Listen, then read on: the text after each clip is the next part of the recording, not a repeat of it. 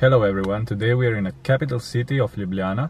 It's again 4 a.m. I am here because I just left my parents because they're going on a vacation. It's pretty dark and that's why I will now move to Predjama castle. That's a castle built inside a cave and uh, we will see each other when we are there.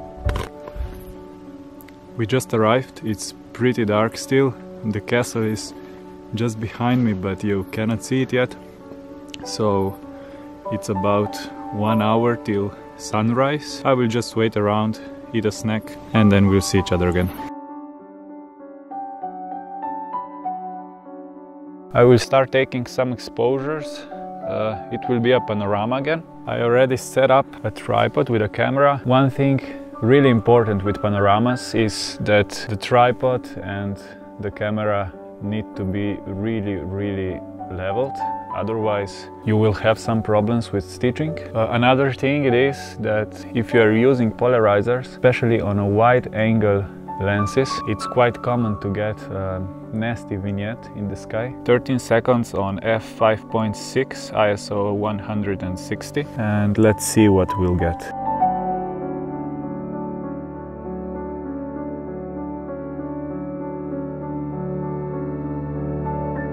We have some time to kill, so let's walk around. I will show you around the area. It is in this vlog that I wanted you to show the importance of light.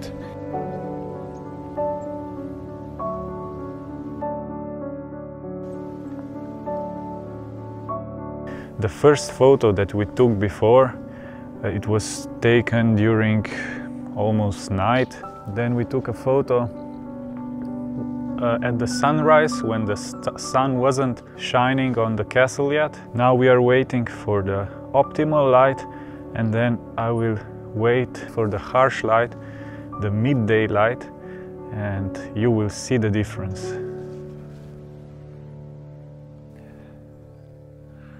You cannot help yourself but wonder how these things were made. It's just amazing.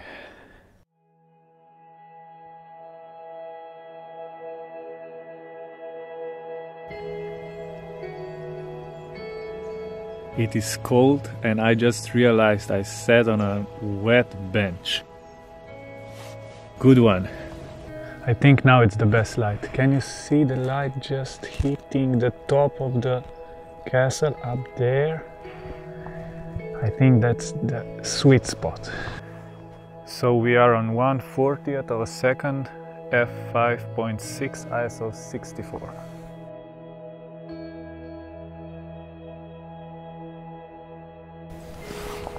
Good stuff. You can see almost half of the castle is covered with sun now. I will take an exposure and I will show you the difference. Now we are on 1 160th of a second f5.6 ISO 64.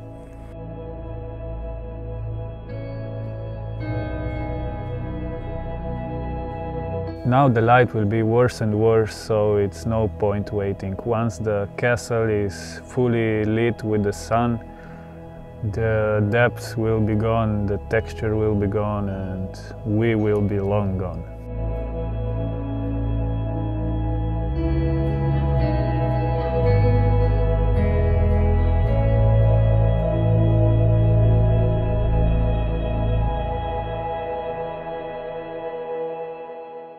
I would like to thank you for watching this video, I really hope you liked it. If you did, please consider subscribing down below and I will see you around. I challenge you to revisit one of the spots where you've taken a midday sun photo, retake the shot and tell me how it turned out in the comments.